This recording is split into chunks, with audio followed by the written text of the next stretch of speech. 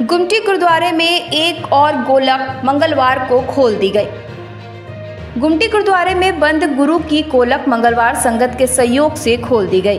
गुरुद्वारा कीर्तनगढ़ संत बाबा सुंदर सिंह जी एवं संत बाबा मोहन सिंह जी आज सोमवार सुबह 11 बजे गुमटी गुरुद्वारे में ट्रस्टी और गुरुद्वारे के प्रमुख सेवादार हरजीत सिंह और सिंह सोल्जर की सेवादारों ने संगत के सहयोग से चौथी गोलक को भी खोल दिया।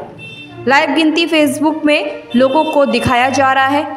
गुरुद्वारे के प्रमुख सेवादार हरजीत सिंह ने बताया कि अभी तक गोलक संगत के सहयोग से खोला गया है।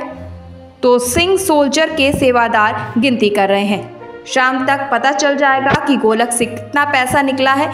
सारे रुपयों को बैंक में जमा कर दिया जाएगा।